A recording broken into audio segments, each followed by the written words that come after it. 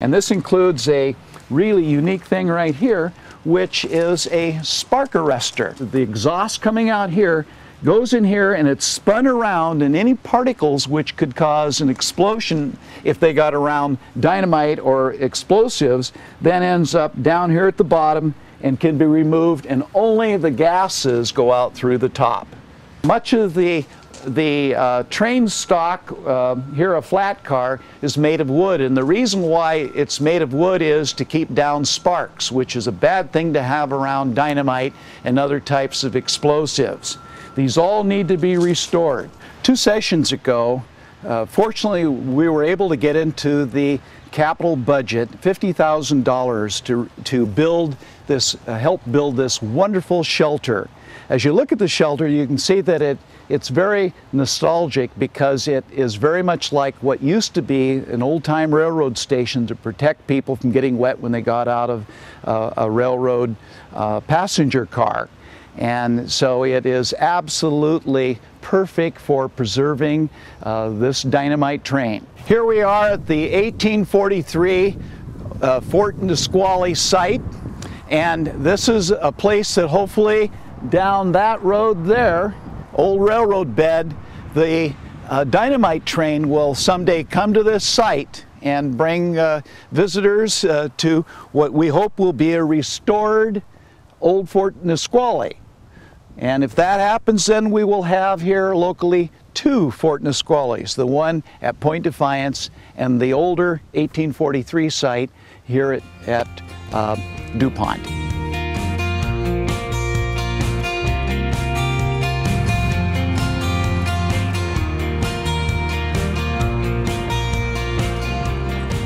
About four years ago, it was my great honor to, to get the Highway Commission to uh, honor the, the patriots, both uh, current uh, members of the service that are uh, serving our country and former ones that are veterans that have crossed this bridge for decades in service of our country and honoring that service by getting this bridge renamed Freedom Bridge in honor of not only the veterans but also the, the families of those veterans that have used this bridge for decades.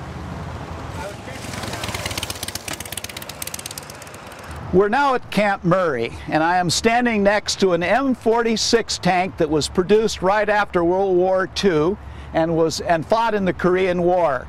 This is one of the symbols of the military presence in our district, and just in front of me is a F-101 Voodoo fighter.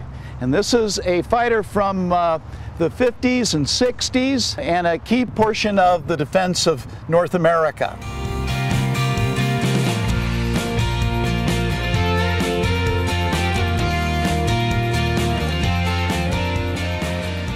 Well, here we are at the north end of the district. One of the concerns that citizens in this area around the bridge had was that with the installation of the new Narrows Bridge that we would end up with more noise. Well, the net result is because of splitting of the traffic that the noise has in fact been reduced, not increased on the Narrows Bridge, a, a great positive for local neighbors. Off to my left, your right, is the actual northern boundary of the 28th district, which is where the big power lines bringing power from the two Tacoma dams over from the peninsula. Everything that you see here on this side is part of the legislative district, as far down as Nisqually Delta. This is one of the few projects that Department of Transportation has done recently that came in basically on time and a little bit under budget.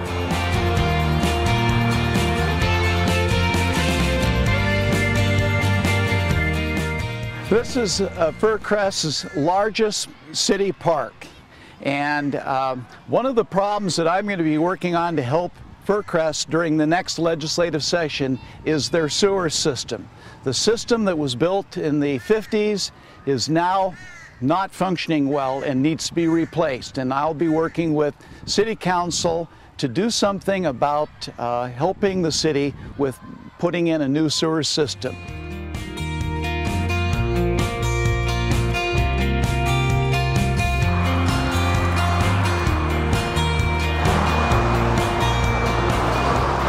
This is one of the projects now completed in the 28th district to restore a salmon stream to its uh, original ability to get salmon. Uh, this is an off, a tributary to the Chambers Creek, and Chambers Creek uh, is a viable salmon stream. With the addition of this culvert that actually has lowered the creek down to the level of Chambers Creek, now salmon will be able to go up one of the forks of Chambers Creek.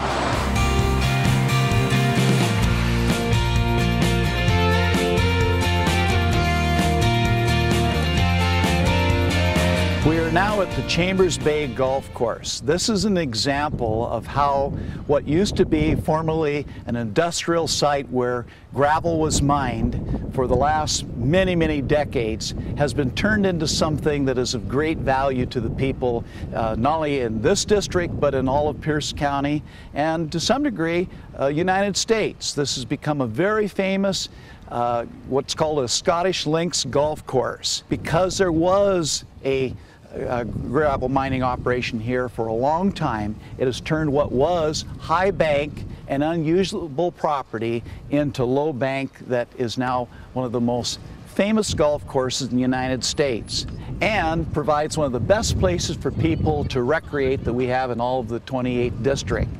Uh, it is just the, a, a beautiful spot.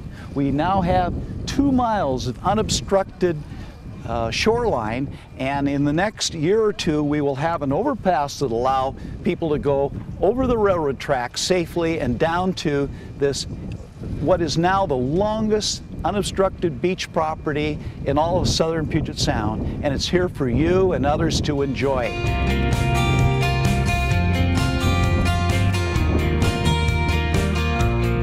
It's been my pleasure to show you some of the scenic sites and also the historic treasures that we have in the 28th Legislative District. Thank you very much for joining me today. And if you would like further information, feel free to contact me at either my office or at home. My home number is 581 2859. And my office number is area code 360 uh, 786 7654. And again, thank you for joining me today.